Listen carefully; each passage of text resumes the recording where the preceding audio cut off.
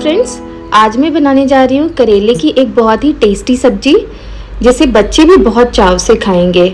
तो I hope आपको ये रेसिपी पसंद आएगी। तो चलिए स्टार्ट करते हैं आज की इस रेसिपी को।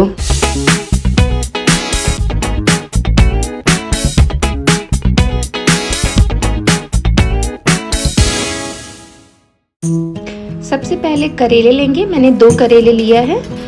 और करेले बड़े हैं, इसका स्किन मोटा है इसलिए मैं इसको हल्का हल्का पील कर दूँगी। अगर पतले करेले हों, छोटे करेले हों तो पील करने की ज़रूरत नहीं होती है। पील करने के बाद इसको अच्छे से साफ़ करके मैं इसमें थोड़ा सा नमक लगा करके उसको अच्छी तरीके से रब करूँगी। और नमक लगाने के बाद इसको कम से कम पाँच से दस मिनट में छोड़ दूँगी, ताकि इसका जो थोड़ा कड़वापन है ना, वो निकल जाए। आप ज़्यादा देर के लिए भी रख सकते हैं। बट मुझे लगता है कि सारा उसका करेले का एसेंस जो है वो नहीं निकलना चाहिए। फिर इसको रफली चॉप कर देंगे। तो मैंने प्याज दो मीडियम साइज़ के लिए थे और करेला था। तो इसको रफली चॉप कर दिया। अब मैंने कढ़ाई रख दिया है। मैंने इसमें लगभग तीन टेबल स्पून ऑयल डाला था। कोई मतलब करेले की सब्ज़ी में थोड़ा सा ऑयल लगता है, तभी वो ज़्यादा टेस्टी बनती है। तो अभी मैंने चारों तरफ़ तेल फैला लिया है। तेल से जब स्मोक निकलने लग गया, तब मैं इसमें आधी चम्मच जीरा डाली, आधा चम्मच मैंने सौंफ डाला, इसके बाद सरसों के दाने डाले और थोड़ी सी हींग भी डाला। इसके बाद चॉप किए हुए प्याज और मिर्ची डाल करके अच्छी तरीके से इसको मिक्स किया। और प्याज थोड़े से सॉफ्ट हो जाए, तब तक इसको पकाना है। बहुत जलाना नहीं है। और इसके बाद मैंने इसमें लगभग आधी टीस्पून नमक डाला। आ, ध्यान रहे पहले हमने आ, करेले में भी नमक लगा के छोड़ा था। तो नमक हिसाब से डालेंगे। अगर कम होता है तो लास्ट में हम नमक ऐड करेंगे। फिर इसको कम से कम 10 मिनट के लिए मैंने ढक करके छोड़ दिया। तो प्याज हमें उतने ही पकाने हैं कि ये थोड़े सॉफ्ट सॉफ्ट से हो जाए। ट्रांसलूसेंट से इसको जलाना नहीं है। तो देखिए प्याज का कलर कुछ इस तरीके से आना चाहिए।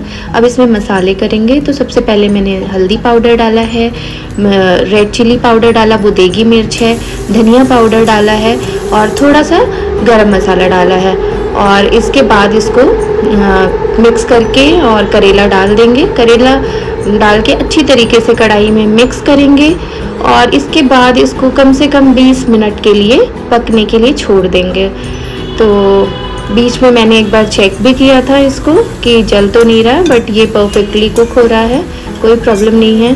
तो अभी घड़ी में देखिए टाइम हो रहा है टू टेन दो बज के दस मिनट, और मैंने ये करीब पंद्रह मिनट से पकने के लिए छोड़ रखा है। तो लगभग लगभग हमारा करेला पक पकने को आया है। तो अब इस स्टेज पे क्या करेंगे कि लगभग मुट्ठी भर के मैंने लहसन लिए, कम से कम 15 से 20 होंगी और आधा चम्मच आमचूर पाउडर लिया है। इसको अच्छी तरीके से कूट लेंगे। कूटने के बाद ये लगभग एक टेबल स्पून एक रेगुलर स्पून होगा। देखते ही देखते 250 होने को आ रहा है और हमारा करेला बन के पूरी तरीके से तैयार है।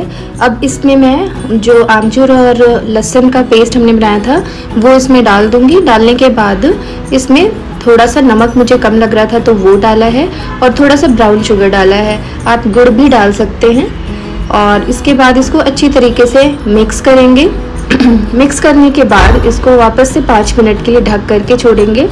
और देखिए, पाँच मिनट के बाद करेले का रंग कुछ इस तरीके से आया। है करेला पूरी तरीके से बन चुका है और बहुत ही टेस्टी बना था। तो फ्रेंड्स आप इसका कलर देख सकते हैं। आई होप आपको मेरी ये रेसिपी पसंद आ रही है। तो अगर ये पसंद आ रही है तो प्लीज़ अपने फ्रेंड्स और फैमिली में ज़रूर शेयर करें और बना करके देखें। बहुत ही टेस्टी बनी थी और कड़वापन बिल्कुल भी नहीं लग रहा था। बच्चे भी बहुत आराम से खाए खा लिए थे ये। तो इसको आप रोटी, पराठे, चावल, दाल किसी भी चीज़ के साथ सर्व कर सकते हैं। If you like my recipe please subscribe to my channel और नोटिफिकेशन बेल को भी ऑन कर दें सो दैट मैं जो भी रेसिपीज़ अपलोड करती हूँ, वो सबसे पहले आपको मिले। Thank you so much friends